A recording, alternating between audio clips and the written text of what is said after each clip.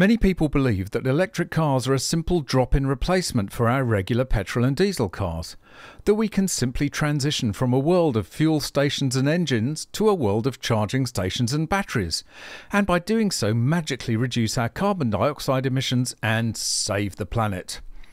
As nice as that sounds, it is a dangerously naive view that has unfortunately been swallowed whole by most Western governments, ours included.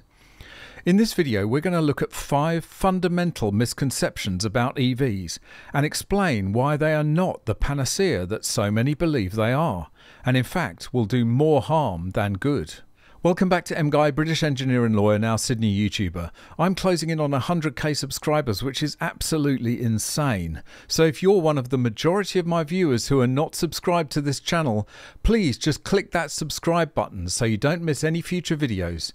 And if you'd like to contribute to this channel, why not buy me a coffee? Click the link in the description or scan the QR code on screen. Number one, EVs aren't electric cars, they're battery cars. Yes, and petrol cars are actually air cars. This might seem trivial, but stick with me because it's fundamental as you'll see.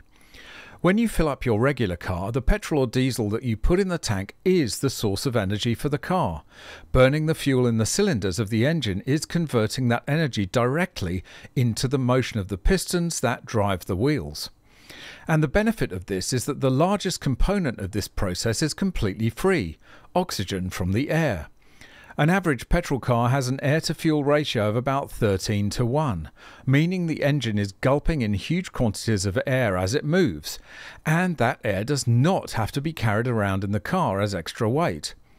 Petrol and diesel engines should really be called air engines, as that's what they use the most. But unlike petrol or diesel, electricity is not a source of energy itself. It's a means of transmitting energy from one place to another. The energy is generated someplace else, usually at a power station, by extracting energy from some fuel, be that fossil or nuclear, or extracting it from some other source, like the gravitational flow of water in hydro, the movement of the wind, or the solar radiation from the sun. The conversion to electricity is a convenient way to move it about. To store it in an EV requires the enormous battery, weighing hundreds of kilograms, essentially a complex chemical reaction that releases electrical energy to power the motors of the car. Sooner or later, there will be a source of energy that we will be able to use to actually generate electricity in a vehicle, at which point EVs might make some sense. And that doesn't include hydrogen fuel cells either, because the hydrogen itself must be created by using energy elsewhere. It's just like electricity, but even harder to transport. So, as we will see, because electricity is just a means of transporting energy, battery cars require the chemical reaction in the battery to be reset and forced to go the other way by charging, which is the Achilles heel of the battery car fantasy. Number 2 the charging conundrum. The charging conundrum is the name I have given to the relationship between charging power and charging time. They are linked by an inverse relationship. As you seek to decrease the charging time, you must increase the charging power. Before we start, a quick reminder that the units used to describe EV battery capacity, the kilowatt hour, is a unit of energy, whereas a kilowatt is a unit of power, the amount of energy per second. Let's take a simple example of an EV with a fairly standard 60 kilowatt hour battery. If you want to charge that in one hour, you will need a 60 kilowatt power supply. Just to put that into perspective, your kettle, one of the most power hungry appliances in the house, uses about two and a half kilowatts and is on for about five minutes. 60 kilowatts, and that's to charge the car in one hour, a hopelessly inconvenient time. So, what do you do if you want to charge it in 30 minutes? You'll need a 120 kilowatt power supply. For 15 minutes, you'll need 240 kilowatts. As the charging time gets shorter, the power rises faster and faster. So, when you hear that they've just invented some magical new battery that can charge in 5 minutes, the question you should ask is where does the 720 kilowatts of electrical power come from to do that? And that's for one car. Number three, public charging will never be cheap and fast. No, it won't. It will always be slow or expensive.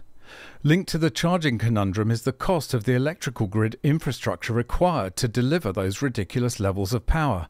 An ordinary fuel station may have 10 pumps and, with a car taking, say, 10 minutes per fill, can get through 60 cars an hour. What kind of charging station would you need to do the same with EVs? Let's say you need to get 60 EVs through in an hour, and let's be generous and say that each requires just a 30 kilowatt hour charge. That's half full. The total power supply required to do this would be nearly 2 megawatts, 2 million watts. Enough power for a small industrial estate or nearly 300 average homes. You'd also need 30 charging stalls to allow them each to sit for half an hour to charge. Each charging stall can cost between fifty and one hundred thousand dollars, so the cost of the chargers could be up to three million dollars to start with. And we haven't even considered the connection to the grid yet, or the cost of the electricity itself. And that's assuming they only charge 50%. If you want to fill them up, multiply everything by 2. So just cut the power in half, right? Fine, as long as you're prepared to wait twice as long to charge. When you start to appreciate the scale of the problem, you understand why the EV charging business is precarious. It has enormous capital costs and wafer thin margins thanks to the cost of electricity at power levels in the megawatts. Compare this with the simplicity of a fuel station, basically just a huge tank in the ground, with pumps and pipes to get it to your car. And think about rural fuel stations. A delivery of fuel from a tanker every week is all it needs to keep it in business. But if it were an EV charging station, it would need either a connection to the grid sufficient to power the chargers or expensive battery energy storage systems to store electricity to cope with peak times. Number 4 battery cars aren't simpler than petrol or diesel cars. Nope, they're not. They're just differently complex, as I said in my video 11 Reasons Why the EV Transition Will Never Happen, linked in the description and up here. While a petrol car has a complex engine and a simple energy source, the fuel tank, an EV has a simple engine, the electric motor, but a wildly complex energy storage system, the battery. As I discussed earlier, the battery is just a huge chemical reaction, contained within hundreds or thousands of separate cells. However, it is everything else that is required to manage this number of cells which is so complex, including thousands of individual connections, an entire cooling and heating system to ensure that the chemical reaction is kept at the correct temperature, together with electronic control units, sensors, and much, much more. The irony is that the complexity of an engine is actually an advantage. Individual components can be easily replaced if and when they fail, meaning that maintenance of the engine is simple and economical. The battery, on the other hand, is a completely different matter. Apart from the fact that it is sealed inside a waterproof and impact proof metal case, replacing a failed part in a battery is often much harder and more expensive than just replacing the entire thing. Insurance companies are wary of putting a repaired battery pack back on the road, as the consequences of, say, a fire happening could be significant. So they're more likely to declare a car with a damaged battery a total loss than take the risk. Hardly environmentally friendly, is it?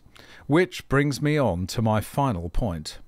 Number 5. EVs aren't better for the environment. Unless you're fortunate enough to be able to charge your battery EV from solar panels on your roof, lucky you if you can, then you have no idea whether your car is zero emissions or not. If the electricity you use is not 100% renewable and or nuclear, then your car will be producing emissions, just not from the tailpipe, but at a power station somewhere on the grid. The only state where that's happening right now, as I'm making this video, is Tasmania. All the other states are using black or brown coal or gas to supplement the renewables, and there's a hell of a lot of sunshine around right now. Every other electric car being driven in Australia is using fossil fuel generated electricity. And of course, that doesn't begin to consider the vast carbon footprint of battery manufacture, which is the EV industry's dirty little secret. Whilst we smugly import those shiny EVs from overseas, preening ourselves for doing our bit to save the planet, all the emissions from the mining of the raw materials and the manufacture of the batteries are being churned out in China. They don't seem to worry as much as we do about the environment. They're just happy to be cashing in on our almost unbelievable stupidity. And don't fool yourself into thinking they're going to stop anytime soon. China will soon be the dominant auto manufacturer if we continue down this insane net zero path. And they will maintain that position by using, guess what? Coal and oil. So there you are. Five common misconceptions about battery electric vehicles.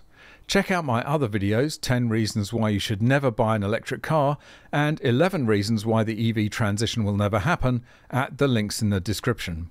I'm sure there are plenty of other frequent misunderstandings about EVs. Let me know in the comments if you have suggestions.